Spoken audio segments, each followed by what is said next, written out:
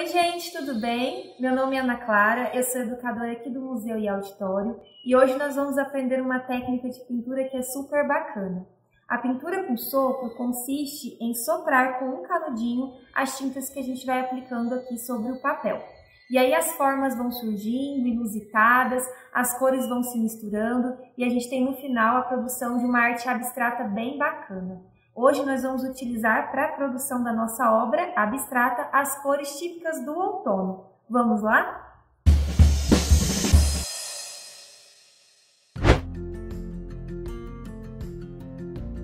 Para nossa atividade de hoje, vamos precisar dos seguintes materiais. Um pedaço de cartolina cortada, aqui eu cortei né, num tamanho razoável para que a gente possa espalhar bem a tinta sobre o papel.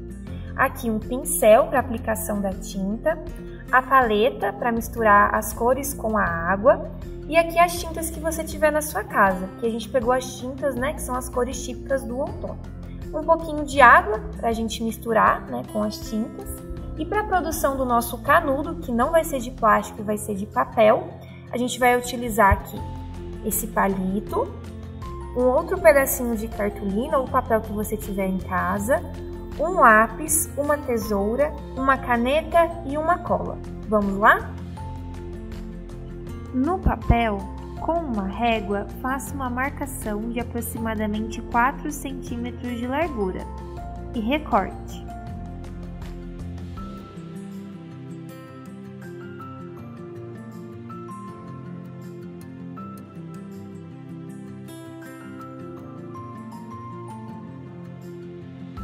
Com a ajuda de um palito e um pouquinho de cola no início, vamos enrolar o papel até formar o canudo.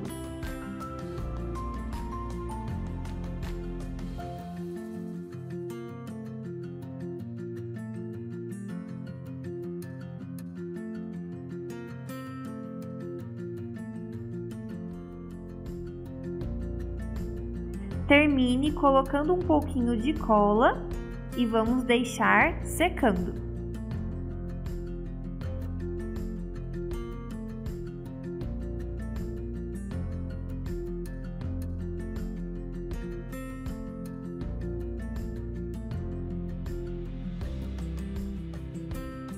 Agora é hora de misturar as tintas com um pouquinho de água.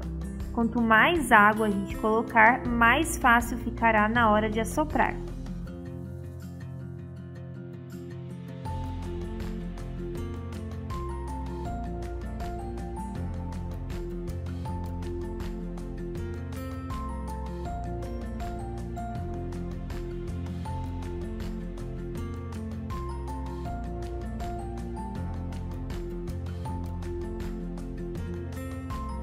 Aplicamos então, sem muita ordem, as tintas no papel.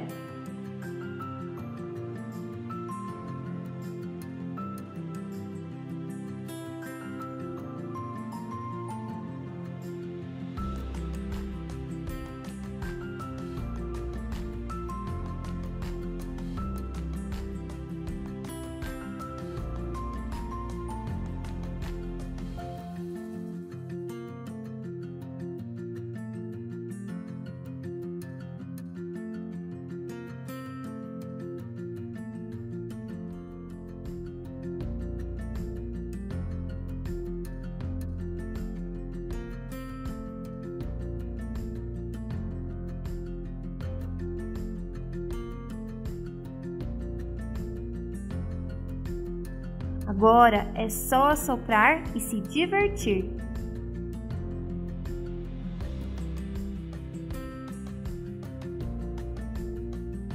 Para facilitar, podemos ir aplicando mais água durante o processo. E aí as cores vão se misturando e as formas vão surgindo.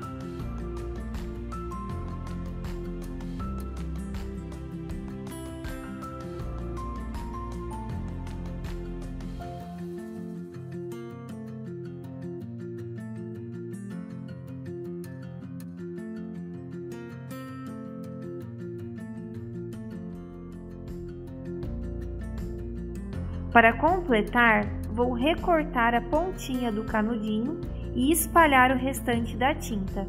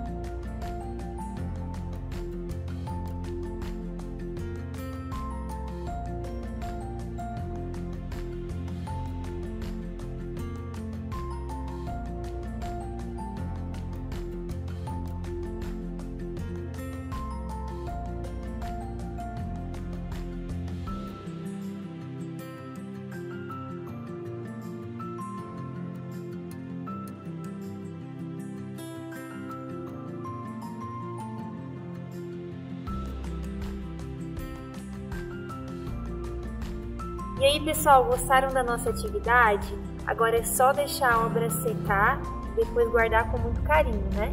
Espero que vocês tenham gostado. Sigam as nossas redes sociais. Essa atividade é ótima, né, para a gente manter o controle da respiração e também trabalhar o diafragma. Espero vocês nas próximas atividades. O link para responder a nossa pesquisa de satisfação está na descrição do vídeo. Até a próxima. Tchau!